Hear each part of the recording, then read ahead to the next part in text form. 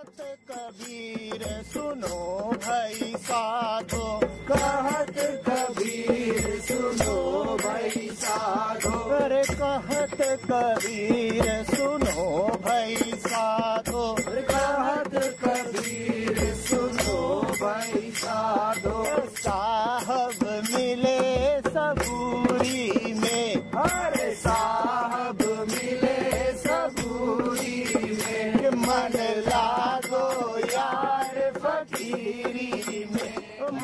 sleeping and then we become unconscious of that sleeping as well. And then we are again trapped in the same. No, it doesn't happen that we are unconscious of the sleeping. We become actually more conscious of something else. Hmm? Please see. You slip. That is one knowledge that has come to you. A piece of information I have slipped. Now, along with this, another figment of knowledge is present in you, which is that slipping is normal.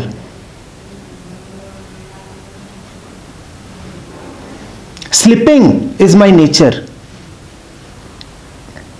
I am not someone who cannot slip.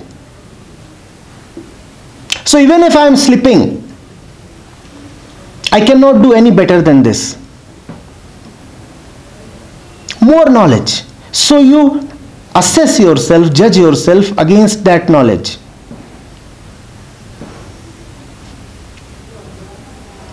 On the other hand, there can be another type of knowledge, which is that I am sleeping, I know that I am sleeping.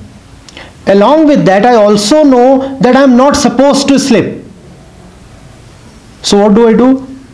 I tell myself I have not slept at all. I suppress the fact of sleeping. I lie to myself. I don't admit to myself that I have slept. Have you not seen people like these? They will never acknowledge even the obvious. They will say, No, I did not sleep. No, no. They'll be prepared to distort the facts, but not simply admit that they slipped. So it is not really about not remembering that you have slipped. It is more about remembering something totally unnecessary. You remember much more than you need to. Spiritual advancement, therefore, is a journey of gradually forgetting. Or if you are courageous enough, then dropping all the load immediately. Immediately. which was anyway not yours. Which was anyway not yours. So it is no big problem as such dropping it. But if we don't know the other way, like if, if I'm sleeping, but I I don't know the solution, but what else can I do? The solution is to simply acknowledge that you are slipping. You see, you are slipping. But again, that uh, fear will come. I'm, I keep on sleeping. No, go into this process. What happens? Who are you? You are the one who is slipping. Is it the first time that you have slipped? That's who you are.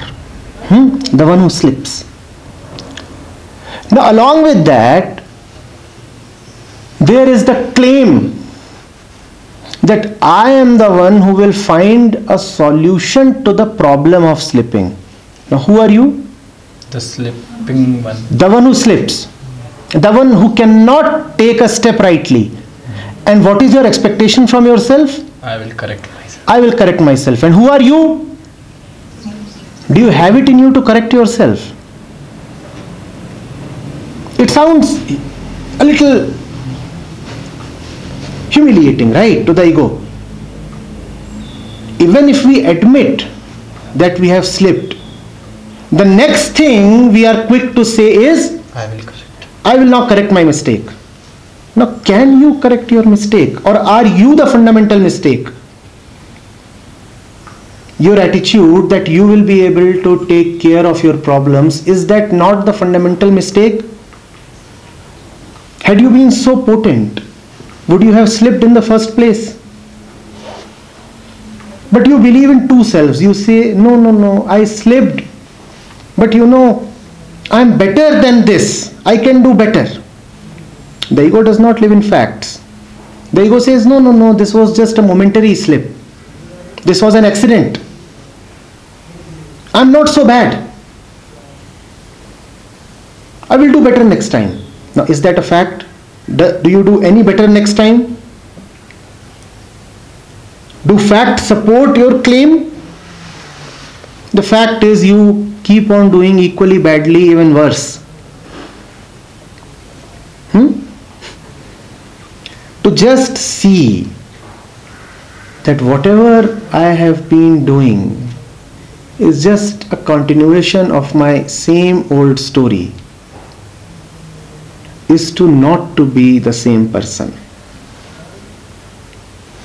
To acknowledge the facts of the story is to drop out of the story. Now you are no more a character in the story. Now you can read the story from a distance. Now you can learn from the story. Can a character in the story ever learn from the story? But you as a reader can learn Hmm? Because there is a certain detachment. Now you do not feel the need to prove a point. Now you're prepared to say, all right, there was someone who slipped. I am different. So I don't have to correct him or pay for his deeds or stand for him. Hmm? What's the difference though Between between the one who didn't know that he sleeps and the one who now knows? That's the only Everyone difference. knows that he slips. There is nobody who does not know that he slips. Slipping is an experience, and experience by definition is known. If you do not know it, we have just talked about it, it is only for two reasons. One, you know and then you suppress, or you know and then you say, Oh, it is not slipping at all, it is my nature. So you give it a different and more decorated name. You then call slipping as some kind of gliding. By changing name of something, it is very possible to masquerade it, hide it. You are suffering and you can call your suffering as responsibility. Hmm? No, you're saying I'm not suffering, I'm just bearing my responsibility. Or you could be suffering and you may not allow yourself to admit that you are suffering. You could go about saying, Hello, good morning, nice day, how are you? Oh, I'm very fine. Have you not seen people like these? Internally rotten, crying, weeping, and wearing a nice smile on the face. Not letting anybody know, and anybody includes themselves, not letting anybody know how terrible they feel within. These are the two ways in which we continue to slip. I repeat. One is through false naming.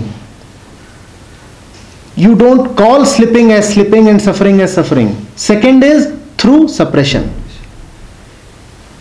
You have slipped and then you lie to yourself. You say, Who slipped? I didn't.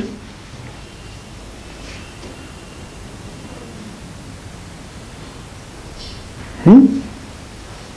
In both these situations, you are not able to look at yourself as a joke.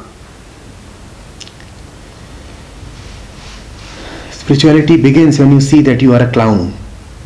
People say it is all about seeing that you are God. No. It is about seeing that you are a joke, a clown. Now, unless you are God, you cannot see that. So, that will anyway be there in the background.